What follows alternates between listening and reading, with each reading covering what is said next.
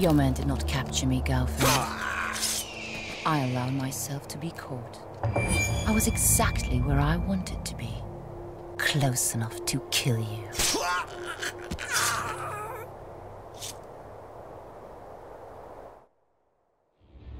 Where is the box you took from me? Far from your reach by now, assassin. One of your tiger brothers must have it.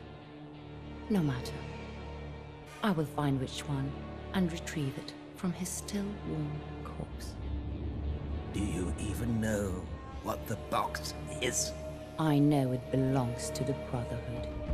How naive. Thinking you can retrieve the box.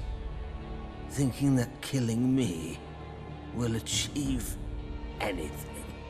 Killing just one of you will not give me the vengeance I seek. You are the first of the tigers to fall, but you will not be the last.